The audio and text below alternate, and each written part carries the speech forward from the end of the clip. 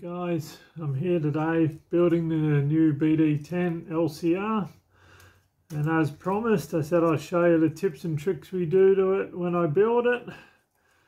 I've um, prepped the chassis, I've just gone around and sanded that and glued it. I've, I got that in another video so if you just want to go back you can check that out but that's pretty simple. The diffs are the same we had a diff video there as well, so I'm not going to show you those, but what I'm up to now, what I like to do, put the top deck on, all the bulkheads, motor out, have everything loose. Everything's all left loose. I get my 18 mil block, stick in, and then what I like to do, hold them up, hold it tight. It's not perfect on the 18 mil block. Just nip them all up. Right, perfect. With the top deck in, it holds it all straight to the front. So it keeps everything in line so you know then the belts will be straight. Uh, it's something that I like to do. I think it's better. Like I said, just nip them up, not too tight. You don't want to be a gorilla, over tighten them. Just nip them all up. And I do the same in the motor mount now. Same thing, just nip them all up. Line up your battery stop, you want that coming straight out. Tighten it up. Right, now I know that's all going to be straight. That's all I do then. I know the bulkheads are right. Another thing I like to do for the tops stand the stand the thing up. Now I know then I, I just hold it, tighten it up so I know they're perfectly square. It's 18 mil, holds everything true. So like I said, this is what I do. I like to do it. Hold the shock tower down. Just nip all the shock tower up as well. Just do the same then for the front. Then you know it's all square. Everything's perfect. So, and like I said, if I do do rebuild them, I'd like doing the same as well. So, just keeps everything nice. You know it's all straight and um, everything's perfect. So, like I said, you do this. The car's built the way you like it from the word go you don't have a problem. So now I know everything's perfect front and rear. The motor mount, like I said, the top deck, it just helps hold everything in place. So the other thing, half a mil shim under the front. In the instructions, it doesn't say about it. But I do half a mil there and I do a mil under here just to hold the top deck up. Um, it says to do it on the front, but the instructions don't say it on the back. So just a mil shim under the rear pole. And on the front, I actually take the shim out because I don't use it on the chassis. None of the boys use it. So I just drop it half a mil. It says to use a half a mil or a mil spacer, I think. But yeah, just pull that out when you do the front pole. And I'll stick in the new the new front brace for that anyway with the bearing, the belt tensioner. So now I, now I can put the diffs in, get all that done and go from there. All right, see you in the next one.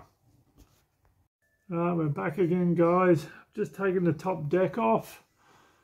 Um, it's hard to see. I've got the front little belt tensioner there.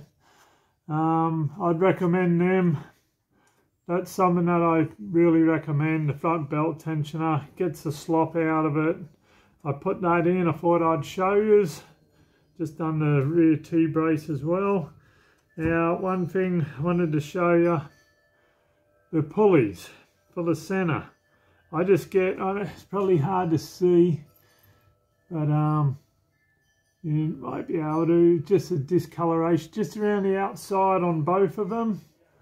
Um, I just put a bit of glue because sometimes they had known to come off. So the last thing you want to be doing, winning your A final and you have the belt come off. So just real thin, just run a little bit of super glue around that. car comes with a 110, so I run 100, so you got to change that. The other thing I wanted to let you know, they're the standard belts you get with the car, okay? Uh, no, it's not. That's the low friction belt. That's what I like to run. So they're the low friction. You see on the header card. I like putting them in. The standard ones, uh, these guys. So that's the one Mick likes to use for mod. But another one they brought out was this guy, the white belts. Now, I've never tried the white belts, so I'm going to build up the new car, put the white belts in. Hopefully they're just as good as the other ones, so we'll see how they go. Uh, there's one more thing I wanted to show you. Um, on the front, I'll quickly just pull it out of the bag and show you. On the diffs, which I haven't done yet, like I said, these are your bearing holders. Now on the bottom, you got the two little dots there. But what I do, normally get my gold pen, and on the one with the gold, on the two dots is a bottom, I just mark in the slot there. So when it's in the car, if you're racing at night, even during the day, it's hard to see the two little dots. I just get my gold pen, do that little mark, makes it so much easier. And you can just put your belts and your diffs to whatever tension you need. You can see it and line it up on the lines. It just makes it so much easier. So another little tip for you. All right, see you in the next one. All right, another quick one, guys. Um, on the spur gear, on the instructions, it doesn't have anything, but I've been asked a few times about the slop. So I've put my spur gear on what I do, I put this little shim, 8 mil shim, that's by 0.1, put that onto the put that onto the motor mount, onto the shaft. I put him on first, put the gear on, and I also, what I do on the 3x6 bolt, I put a 1 mil shim. And then that, I'll just put it on and show you. That gets out all the slop. You need a little bit because you want it to spin. Uh, spinning good. Just want a little bit of play. Just a little bit in the gear, just a little bit. Spins like a little blue, uh, beauty. So, like I said, just a little bit of play. You don't want heaps because then it'll damage your bearings. And I also oiled the bearings. I did all the bearings. People say, oh, do you do the bearings from new? Yes, I'll clean them out, use a bit of buggy, blast them out, and then re-oil them with a bit of lube. So they spin a lot freer. Righty. All right, guys, back again. Just about to build the front spool up.